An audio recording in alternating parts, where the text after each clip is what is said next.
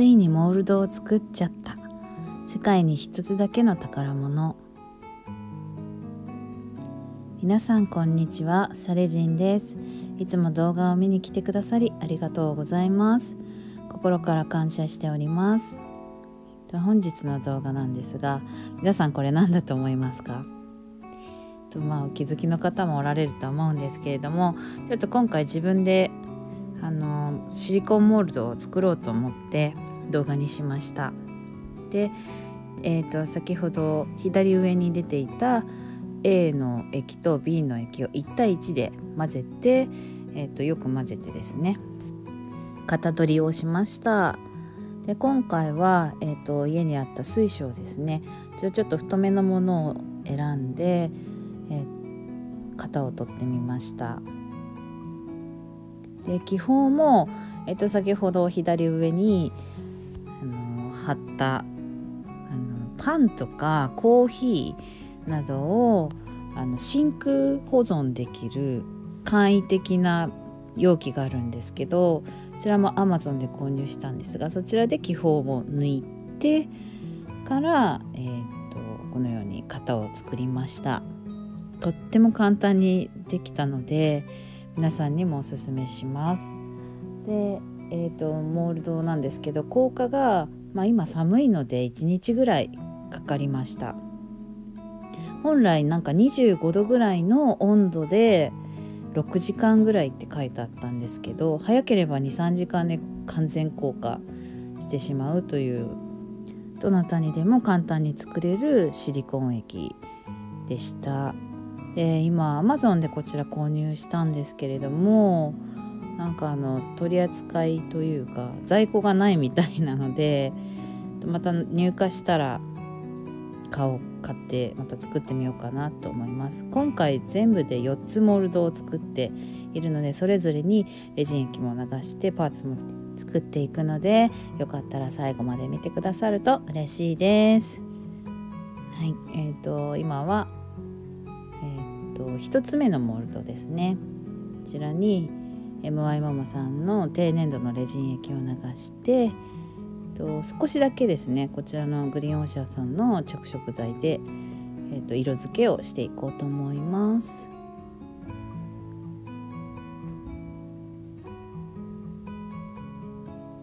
まあ、ほんの少しであの十分だと思うのでまあ人それぞれですね好みはあると思うので私は今回うっすらつけたかったのでほんの少しだけ着色していこうと思います。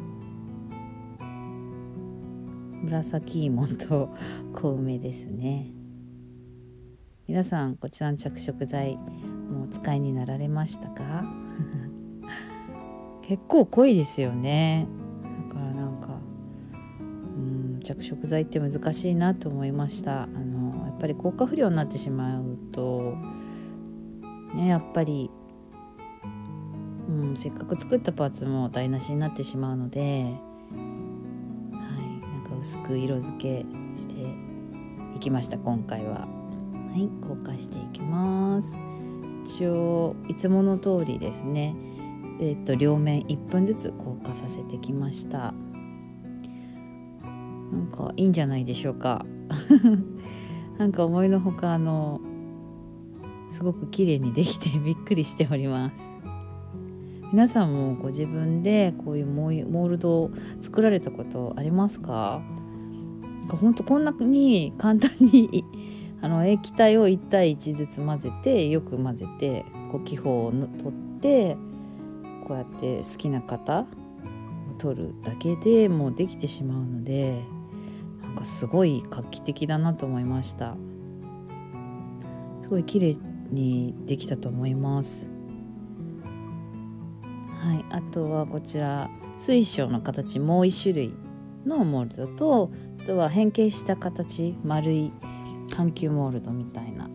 何てお伝えしたらいいんだろう。もうちょっと実家から奪ってきた形なんですけれどもそれをかたどりました。と今お見せした厚いモールドはあのちょっと5つ目の大きめの指輪を、えっと、かたどりしてみました。あの最後に指輪も作るので、はい見てくださると嬉しいです。透明のパーツを作っていきたいと思います。こちらの丸い方ですね。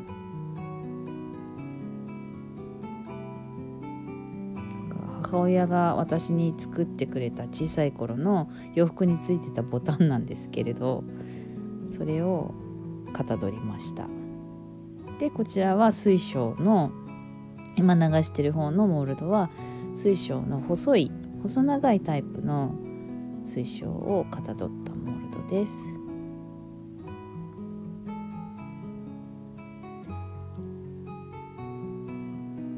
うんなんか液体も2本 A 液と B 液セットで2600円ぐらいで購入できたんですよね。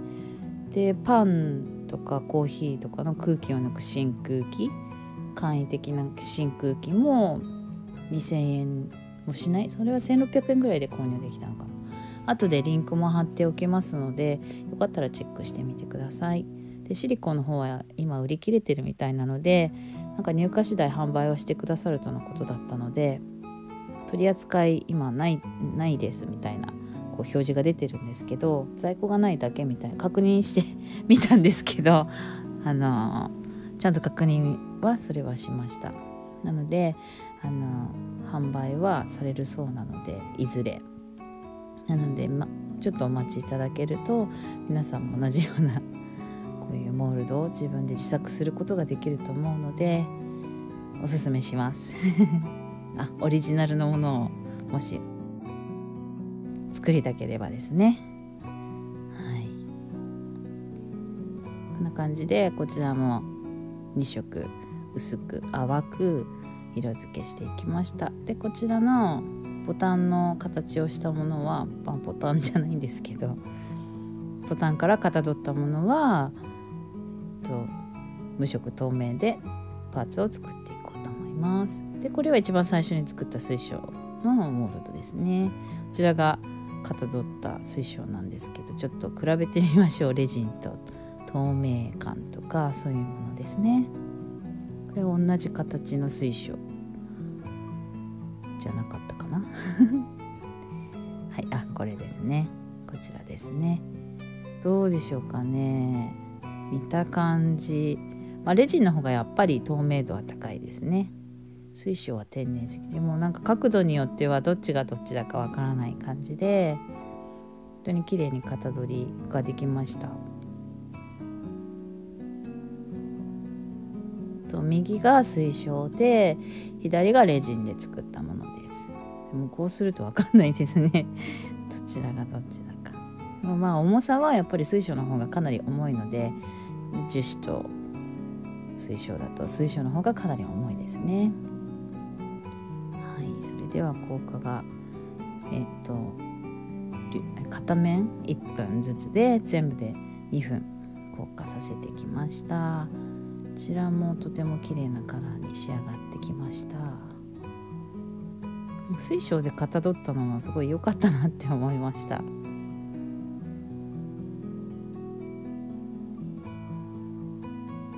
ん皆さんもお持ちの天然石であの簡単にこのようにかたどることができるのでこのシリコン材はとてもおすすめしますあまりベタつきもないのでなんかこれ販売されてるのと一緒かななんて思ってみたり してみたりしたんですけど し結構あのしっかりしてしたシリコンモールドに出来上がってきます。でこちらのクリアカボションにとジェルネイルですね。こちらカラージェルを塗布していこうと思います。今回はモスグリーンとラベンダーのカラーかな。こちらはキャンドゥさんのジェルがちょっとすぐそばにあったので、はい、試しに作っています。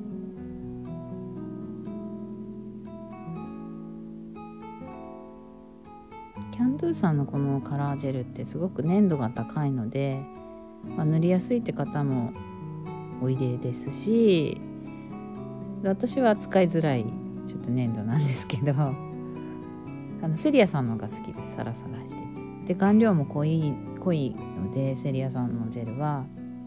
なので私はセリアさんのジェルの方が好みです。まあでもやっぱり好き嫌い好みは分かれますよね。うん、かぼしょに塗るのはちょちょっと今回はお見せするだけなのでアクセサリーにはしないので参考程度にしていただけると嬉しいです。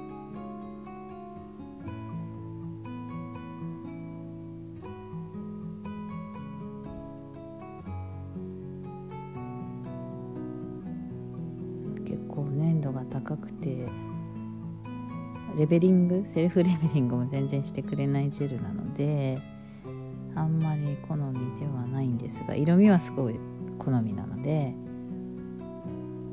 ラベンダーとモスグリーン今回使用しております。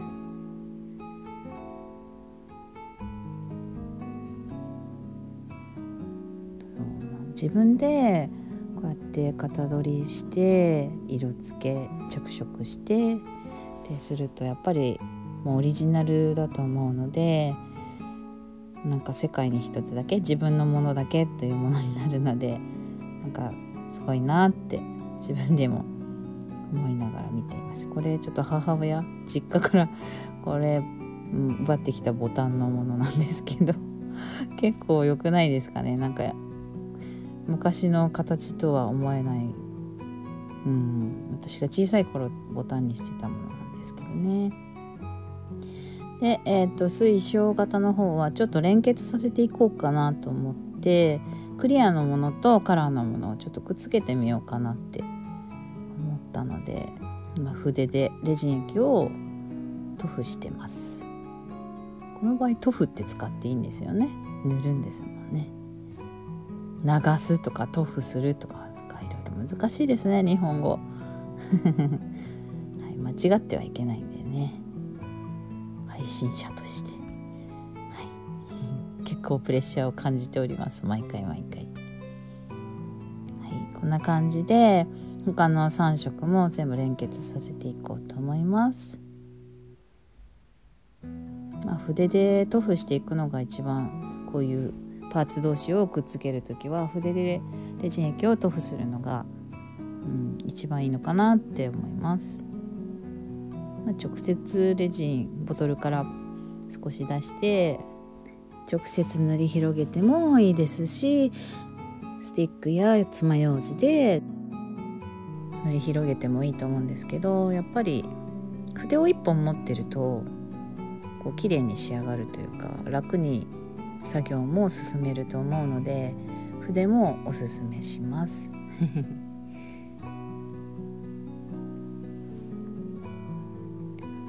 どこを連結させようかなと結構くるくると回してちょっと見ながら悩んで決めています。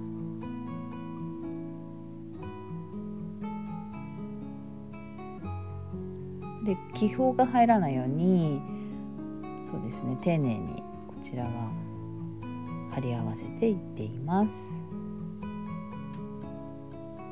ちらのカラーも綺麗ですね。紫芋でしたっけ？はい。で最後ですね。コウメちゃんのカラーですね。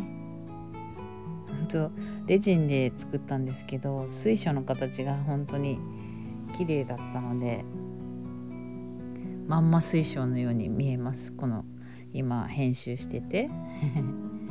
でも実際触ってみるとほんと水晶は重たいので全然別物なんですけどね。見るか見ただけでは水晶かレジンかって分かんないぐらいすごいリアルに再現再現？型取りできたと思います。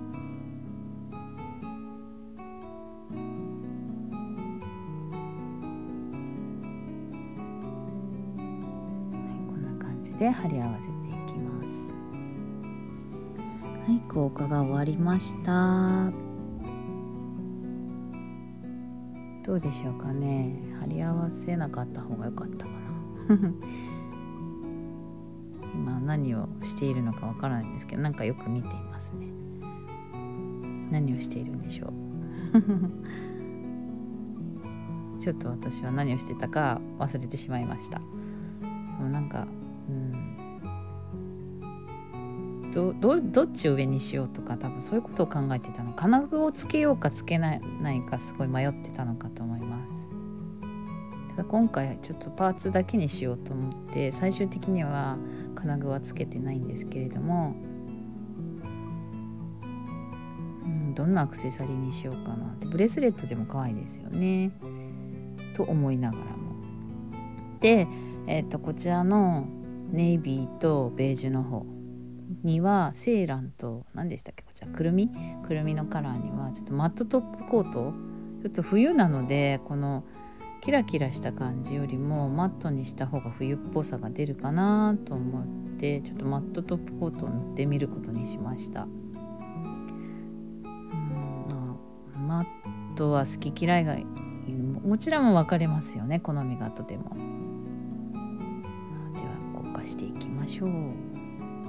はいこんな感じでマットにしてみました。で紫とピンクの方はあえてこうキラキラタイプにしてキラキラというか もう語彙力がない。アフレコは難しいです。はい。あのマットは塗らずに。でこちらのカボションですね。なんかすごく綺麗に。でもちょっと柄が昔っぽいですかねやっぱり。私が小さい子2歳3歳ぐらいに着てたあのベストのようなものについてたボタンなので、はい、水晶のこちらはモルトですね。はい、2つ作りました。なんか失敗もせずに簡単にモルトとこういうパーツができてしまったのでちょっと自分でも驚いています皆さんもお手持ちの何かこれかたどってパーツにしてみたいなというものがあったらシリコン材を購入してもう本当に簡単にできてしまうので 流すだけで本当に簡単にできてしまったんですよ。だからあえてそこは動画にしなかったんですけどもう液を A と B の液を、えっと、1対1で混ぜるだけなのでであとはもう一日放っておけば勝手に型が取れるというね。すごい画期画期的だなって思いました。でこちらは今リングをリングのモールドに流しております。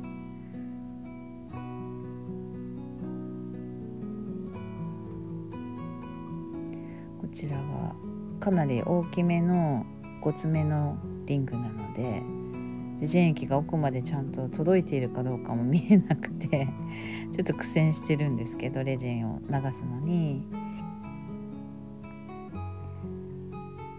ちょっと何回かに分けてレジン液を流してみております。ちょっとトントンしてみたり何の意味もないんですけどね ちゃんと。はい硬化していきます。こちらは4分硬化させました。ちらから取っていこうと思ったらどっか飛んでっちゃったんですよね。トゥルンと。後で拾います。こちらもまたツルツルして。多分どっか行っちゃう？どっか行っちゃう？行かない？大丈夫。ああちょっと滑っちゃいましたね。はいこんな感じで。今こういったクリアのリングって流行っていますよね。なのでなんかなんかできてよかったなって 思いました。単純に普通に型取りができてよかったなと思いました、はい、こんな感じでめちゃめちゃ可愛いリングができましたちょっとバリもあるんですけどこちらは後で加工すればいい話なので綺麗じゃないですか。私この指輪好きだなって思いました。ちょっと手は手がしわしわなのはちょっと怖い子で はい。あさっき飛んでっちゃった指輪ですね。こちらの形はもうデフォルトであるようなもう本当に今流行りだしもうずっとデフォルトで多分あちょっと気泡は入っちゃったんですけどはい。2つともうまく型が取れてよかったなって思いました。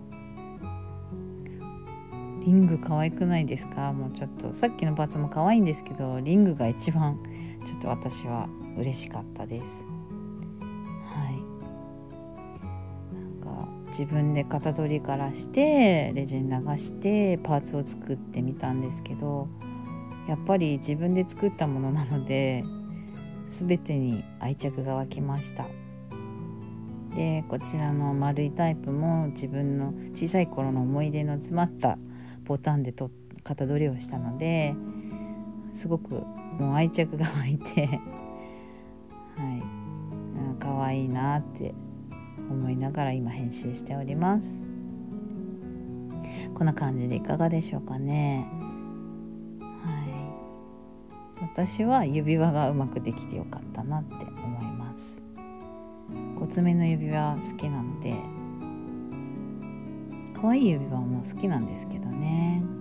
はい。こんな感じでパーツを作ってみました。あ違う。パーツもだしモールドも作ってみました。世界でたった一つの自分だけのですねモールドを今回作ってみましたがいかがだったでしょうか？はい。こんな感じでちょっとね着画もまた今回ご用意させていただいて。可愛くないですか？この水晶。はい。それでは最後まで見てくださりありがとうございました。少しでも皆様の参考になれたら嬉しいです。それではまた次回の動画でお会いしましょう。